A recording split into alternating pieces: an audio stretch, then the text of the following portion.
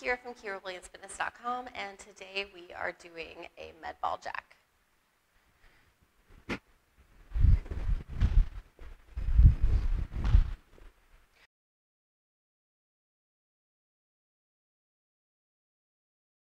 We can do this with a med ball. We can also do this with a dumbbell.